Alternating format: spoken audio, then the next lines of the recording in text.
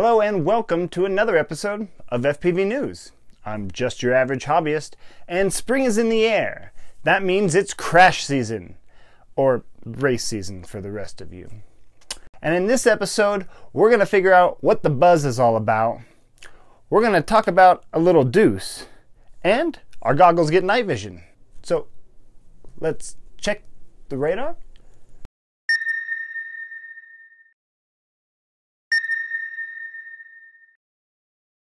Most of us have that number one quad we love to fly. Well, this next company wants to be your number two. Little Deuce. It's a 1 to 3S drone. It takes 2 to 2.5 inch props and has 1103 10,000 kV motors. It can take a 16 by 16 millimeter stack or any all-in-one Whoop 24 to 26 millimeter pattern.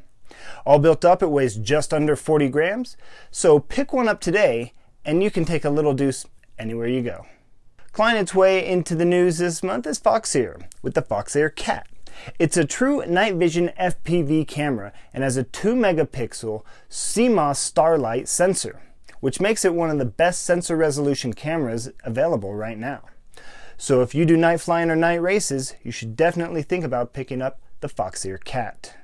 Well, Emax is at it again with the Emax Buzz. This is a 5-inch drone, and it has 2306 2400 kV motors for the 4S version, and 1700 kV motors for the 5 and 6S version. This drone has the Magnum Stack 2 in it. The Magnum Stack 2 runs the Omnibus F4 firmware and has a 4-in-1 32-bit 3S to 6S ESC and can handle 45 amps. The Buzz has a Caddx S1 camera, and the VTX can go from 0 pit mode, 25, and 200 milliwatts power. Now this next item is really going to change the industry if people start to like it. It's the Diatone Mamba Power Tower. It's an F4 flight controller and an all-in-one 40 amp ESC for $45. It can handle 3 to 6S and it's a 30 by 30 millimeter stack. Now having an all-in-one component like this priced so low is really going to make other companies think about their products and we'll see if they start cutting corners or if they just lower prices or maybe the industry as a whole will drop down a little bit to stay competitive. Maybe it's going to increase volume. Either way, it's looking good for us consumers. Another company coming out with a great bind and fly quad is Archangel. This is the next version in their limited edition DR1 lineup, and these are the macro, mini, and micro drones. They all come with a 20 by 20 millimeter stack with an F4 flight controller and a 40 amp ESC. On the mini and macro drones, the VTX is mounted on the side, so it makes it really simple to see what channel frequency you're on, and at the push of a button right there, change that channel. If you've ever seen these fly around, they're also really cool to watch, even in the middle of the daytime, because they have a really killer lighting system on them. Now, if you're looking for more information on the Archangel drones, keep an eye on your average hobbyist and click that subscription button because we're going to have an FPV inside look.